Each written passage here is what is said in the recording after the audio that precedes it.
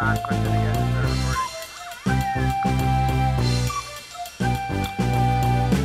Okay, going. It's a breakaway, right?